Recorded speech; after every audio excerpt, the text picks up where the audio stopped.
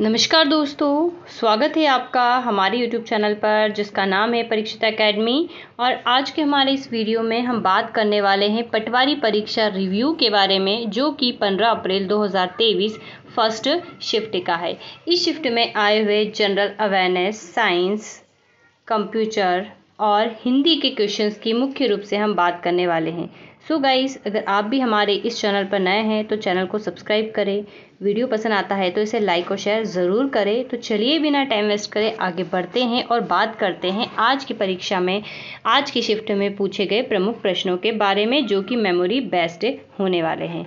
तो आज भी शिफ्ट में जो है मंत्री पूछा गया है, तेरह अप्रैल सेकेंड शिफ्ट में खेल मंत्री पूछा गया था और आज जो है वन मंत्री पूछा गया है। तो मध्य प्रदेश के वन मंत्री की बात करें तो व से, वन, व से विजय तो ये है विजय शाह। वन मंत्री रहे हैं तो आइए हम कुछ प्रमुख मंत्रियों की बात कर लेते हैं। हो सकता है नेक्स्ट सेशन में पूछ लिया जाए।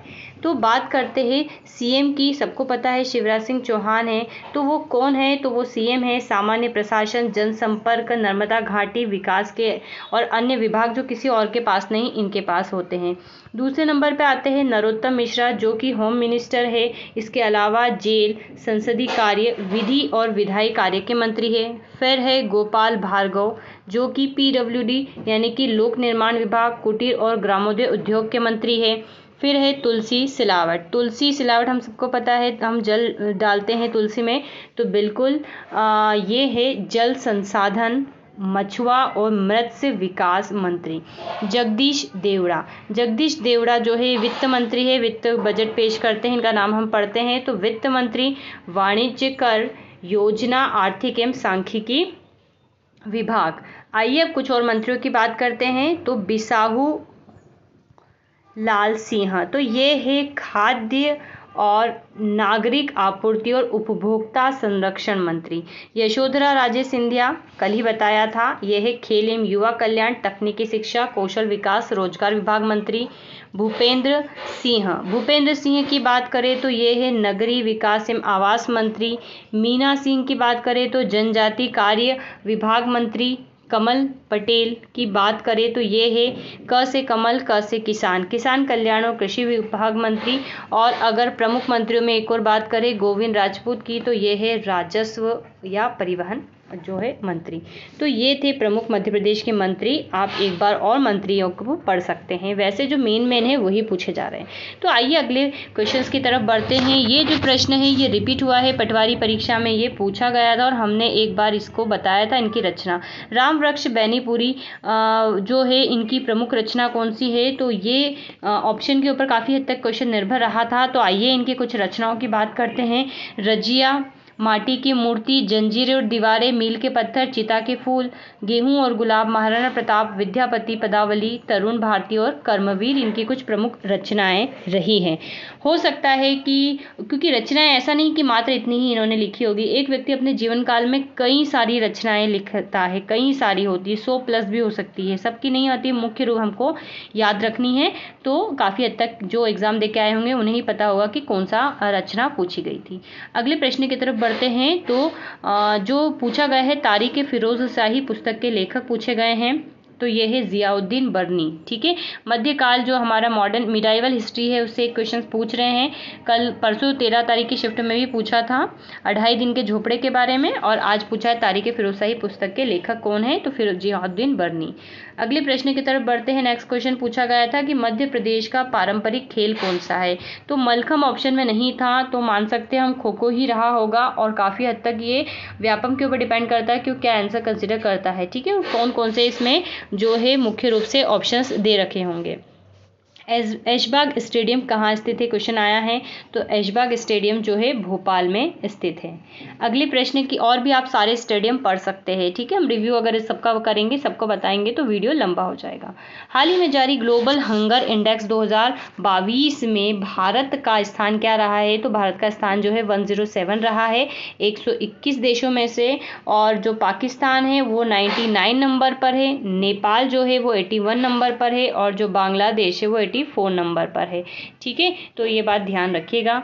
चलिए, अगले क्वेश्चंस की तरफ़ बढ़ते हैं तो मध्य प्रदेश में विकास प्रोजेक्ट के लिए किस अधिनियम के तहत परमिशन लेना होता है? प्रश्न आया है तो ये प्रश्न अगर हमें एकदम सटीक मिलता है या हम श्योर रहते कि यही पूछा गया था तो इसका आंसर बता पाते।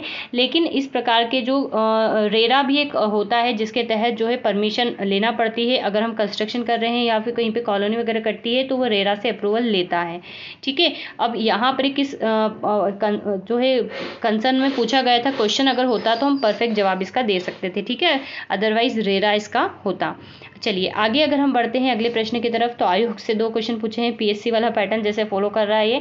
तो राष्ट्रीय अल्पसंख्यक आयोग अपनी रिपोर्ट किसे सौंपता है? तो इस प्रकार के जो भी आयोग होते हैं, जो अनुसूचित जाति आयोग, अनुसूचित जनजाति आयोग, पिछड़ा वर्ग आयोग, राष्ट्रीय अल्पसंख्यक आयोग, अपने सभी जो है, सभी रिपोर्ट अपने किसको सौंपते हैं? केंद्र सरकार को सौंपते हैं। इसके अलावा जो संवैधानिक आयोग होते हैं, वो अपनी रिपोर्ट राष्ट्रपति को सौंपते हैं, ठीक है? तो ये कुछ बेसिक सी बातें थी। अगले प्रश्न की तरफ़ बढ़ते हैं तो क्वेश्चन आया है कि धन विधेयक एक जो है भारत के संविधान के किस अनुच्छेद में वर्णित मिलता है? तो ये संविधान 110 में धन विधेयक के बारे में प्रावधान किया गया है। पृथ्वी का विभाजन हुआ इसकी शुरुआत इस प्रकार से कोई क्वेश्चंस था? तो ये क्वेश्चंस भी पूरा नहीं मिल पाया है। हो सकता है यहाँ पर थ्योरी पूछी गई हो यानी यानी कि भूगोल का एक क्वेश्चन रहा हो। तो आ, ये फ़िलहाल इसका आंसर दे पाना भी मुश्किल है। नेक्स्ट क्वेश्चन पूछा गया है, राष्ट्रीय महिला आयोग का गठन किस वर्ष किया गया? तो राष्ट्रीय महिला आयोग का जो गठन है, वो इकतीस जनवरी उन्नीस को किया गया था 1992 को। देखो, आयोग से तीन क्वेश्चन पूछे गए, दो क्वेश्चन हमको दिख गए क्वेश्चन अभी आने वाला है। मतलब जैसे कि पेपर सेट करने वाला, मुझे, हमें लग रहा है कि पीएससी की तैयारी ही कर रहा है, क्योंकि वहाँ पर आयोग काफ़ी इंपॉर्टेंट होते हैं। चलिए, ये मज़ाक की बात थी। हकीकत हमें नहीं पता, आगे बढ़ते हैं। अगले प्रश्न की तरफ़ बढ़ते हैं तो पारिस्थितिकी संगठन का सही क्रम क्या है? अभी क्रम बढ़ते क्रम में पूछा था, घटते क्रम में पूछा था या किस कंटेंट में पूछा था तो आइए हम इसकी बात कर लेते हैं। बढ़ते क्रम में जीव, जनसंख्या, समुदाय पारिस्थिति की तंत्र जो है, इसका बढ़ते हुए क्रम का है। अगला प्रश्न पूछा गया है कि उद्योग शुरू करने पर पर्यावरण संरक्षण अधिनियम के अलावा और किस अधिनियम का पालन करना होता है तो ये पालन करना होता है वायु प्रदूषण नियंत्रण अधिनियम उन्नीस सौ इक्यासी का। अब करेंट की कोई पुस्तक पूछी थी और उसके लेखक का नाम पूछा था, नहीं पता कौन सी पूछी थी। सहकारी समिति को शासन की मान्यता कब मिली, इस प्रकार से एक प्रश्न आया था। कर्नाटक में अक्टूबर नवंबर माह में कौन सा त्यौहार मनाया जाता है अम्बाला इस प्रकार से प्रश्न आया था। राष्ट्रीय बाल संरक्षण आयोग से संबंधित प्रश्न पूछा गया था। अब किस प्रकार से प्रश्न था ये फ़िलहाल नहीं पता, लेकिन अगर हम राष्ट्रीय बाल संरक्षण आयोग की बात करें तो इसकी स्थापना जो है, पाँच मार्च 2007 को हुई थी। किसके तहत? बाल अधिकार संरक्षण आयोग अधिनियम 2005 के तहत इसकी स्थापना गई थी। गवर्नमेंट ऑफ़ इंडिया यानी कि केंद्र सरकार ने और इसका जो प्रमुख उद्देश्य है बाल अधिकारों की सार्वभौमिकता और गैर उल्लंघनीयता के लिए काम करना ठीक है? आयोग के लिए ज़ीरो से आ, मतलब ज़ीरो से अठारह वर्ष तक के बालकों पर ध्यान दिया जाता है और इसमें आयोग जो होता है इसकी जो संरचना होती है इसमें एक अध्यक्ष होता है और छः सदस्य होते हैं यानी कि कुल सात सदस्य होता है। अध्यक्ष जो है वो जाना माना प्रतिष्ठित व्यक्ति होता है जिन्होंने बच्चों के कल्याण को बढ़ावा देने के लिए असाधारण कार्य किया है और इन छः सदस्यों में से दो सदस्यों का कम से कम महिला होना ज़रूरी होता है। इसके अलावा भी इनके कई सारे और जो है एलिजिबिलिटी रहती है तो वो खैर वो आयोग जब पढ़ेंगे तब उसकी बात करेंगे और तीन साल का कार्यकाल होता है। तो अब किस प्रकार से क्या क्वेश्चन पूछा था ये फ़िलहाल नहीं कह सकते। इनका आयोग जो उनके सदस्यों का कार्यकाल होता है, तीन साल और पैंसठ साल होता है अध्यक्ष के लिए और सदस्य अगर है तो तीन साल और साठ साल होता है सदस्य के लिए। ये अपनी त्याग पत्र केंद्र सरकार को देते हैं, अपनी रिपोर्ट जो है केंद्र सरकार को प्रस्तुत करते हैं। आयोग के अध्यक्ष सदस्यों के वेतन, भत्ते और सेवा शर्तें भी कौन निर्धारित करता है? तो केंद्र सरकार निर्धारित करता है। तो हमने आयोग के बारे में सारी बातें आपको कम समय में बता दी। ठीक है? अगर आया होगा तो सबको पता होगा किस प्रकार से प्रश्न आया होगा। चलिए नेक्स्ट क्वेश्चन देखते हैं कि हाल ही में जारी नीति किस अधिनियम से संबंधित इस प्रकार से एक प्रश्न था, ये प्रश्न भी पूरा नहीं है। तो जितने क्वेश्चन हमें मिल पाए मेमोरी बेस पर, हमने यहाँ पर उसकी बात करी। आइए आगे बढ़ते हैं और बात करते हैं विज्ञान के प्रमुख प्रश्नों के बारे में।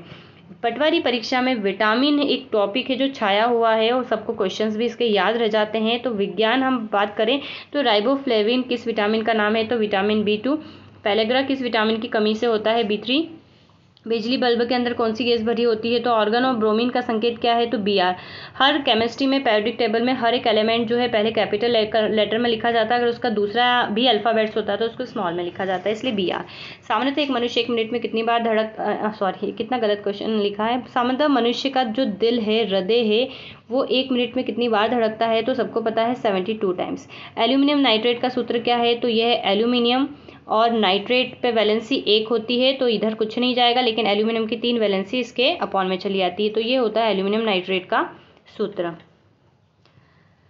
आगे के क्वेश्चंस की तरफ़ अगर हम बढ़े तो हवाई जहाज़ के पहियों में कौन सी गैस भरी होती है? तो ये भरी होती है हीलियम और या नाइट्रोजन। कोशिका विभाजन से प्रश्न पूछा गया है, फेराडे के नियम से प्रश्न पूछा गया आवर्त सारणी से प्रश्न पूछा गया और मात्रक से प्रश्न पूछा गया है। कौन सा मात्रक है? ये भी नहीं पता। विटामिन से एक और क्वेश्चन आया था शायद।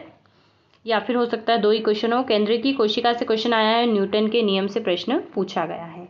चलिए, आगे बढ़ते हैं अगर हम तो हम बात करते हैं कंप्यूटर की। तो कंप्यूटर में जो है, नंबर थोड़े छुप गए हैं। तो क्वेश्चंस ये है, पहला क्वेश्चन कि एम एस एक्सेल को में सेल की सामग्री को एडिट करने के लिए कौन सी फ़ंक्शन की का उपयोग करते हैं तो एफ़ टू का करते हैं। दूसरा प्रश्न है कि वर्कशीट पर कॉलम और रो के इंटरसेक्शन को क्या कहते हैं, सबको पता है, सेल कहते हैं।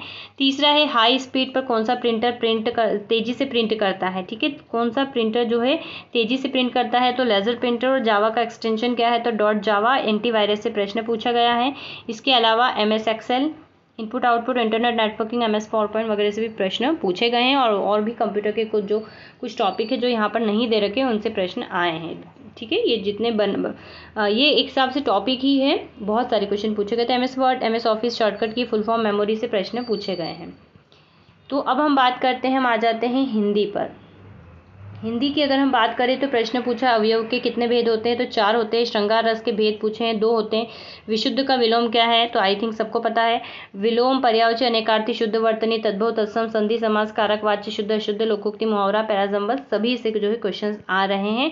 तो फ्रेंड्स ठीक है तो सभी से क्वेश्चन आ रहे हैं जो स्पेसिफिक क्वेश्चन मिले हमारा मूल मकसद यही रहता है कि जो आए हैं वो हम आपको दिखाएँ कम समय में ताकि आ, कुछ स्टूडेंट जिनका पेपर होने वाला है वो यहाँ से कुछ सीख कर जाएँ। सो गाइस बताइएगा वीडियो कैसा लगा? अच्छा लगा है तो प्लीज़ चैनल को सब्सक्राइब करें। वीडियो को अंत तक देखें बताएँ हमें वीडियो आपको कैसा लगा। लाइक और शेयर करें। और हम आपको बताना चाहेंगे कि आज के भी वीडियो में हमने मैनेजमेंट मैथ्स रीजनिंग और इंग्लिश वाले पोर्शंस की बात नहीं की है तो आप बिल्कुल अब बाकायदा इसको भी अच्छे से कर लीजिएगा। So have a nice day and thanks for watching